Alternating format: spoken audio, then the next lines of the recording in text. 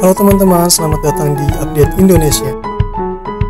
Melalui channel ini kita akan sama-sama belajar dan mengetahui lebih banyak hal-hal yang unik dan terbaru tentang Indonesia. Klik tombol subscribe di bawah video ini untuk selalu mendapat informasi dan tidak ketinggalan video-video terbaru kami. Next video.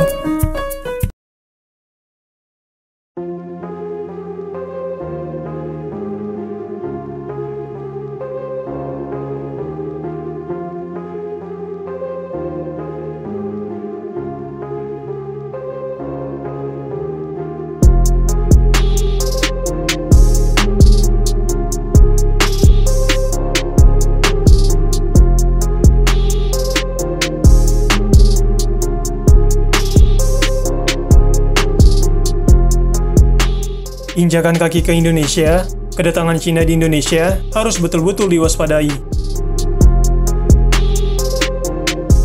Cina baru-baru ini menugaskan Menteri Luar Negeri Wang Yi untuk melakukan kunjungan kerja ke beberapa negara ASEAN, salah satunya Indonesia dan negara-negara di benua Afrika.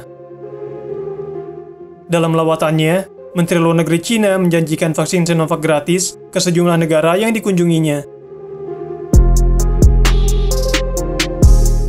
Peneliti Center for Indonesian Domestic and Foreign Policy Studies atau Sentris, Abu Bakar Solisa, mengatakan negara-negara yang dikunjungi China, termasuk Indonesia, harus mewaspadai maksud dan tujuan lain di balik kunjungan kerja tersebut.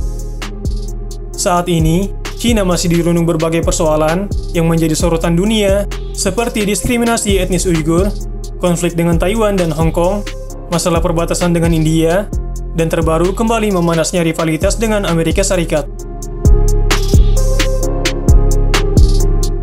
Abu Bakar mengingatkan Indonesia dan negara-negara yang dibantu atau menjalin kerjasama bilateral dengan Cina agar tidak tergantung apalagi masuk dalam dilema ketergantungan dengan negeri tirai bambu tersebut.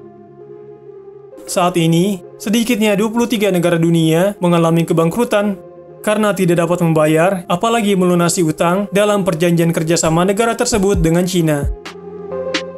Sistem utang dan pembayaran yang diterapkan oleh Cina saat ini disebut dengan Chinese Money Trap di mana negara peminjam yang tidak bisa mengembalikan jumlah yang telah disepakati harus menyerahkan wilayah mereka sebagai gantinya kepada China sebagai pemberi modal pembangunan.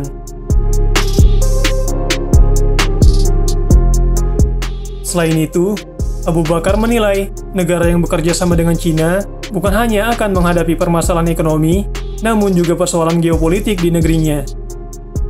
Hal ini dikarenakan tengah berlangsung rivalitas antara China dengan Amerika, di mana kedua negara tersebut saat ini tengah menggalang negara-negara dunia agar berpihak kepada mereka. Langkah pemberian gratis vaksin Sinovac menjadi strategi China yang membawa banyak manfaat, di antaranya yaitu mengalihkan kemarahan dan kritik atas penanganan awal China terhadap pandemi COVID-19 dan permasalahan internasional yang melibatkan China.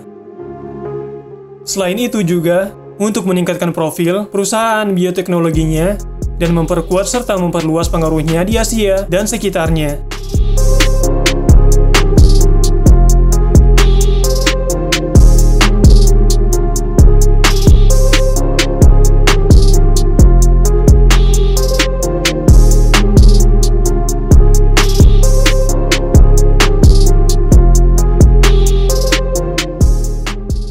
Klik tombol subscribe di bawah video ini untuk selalu mendapat informasi dan tidak ketinggalan video-video terbaru kami.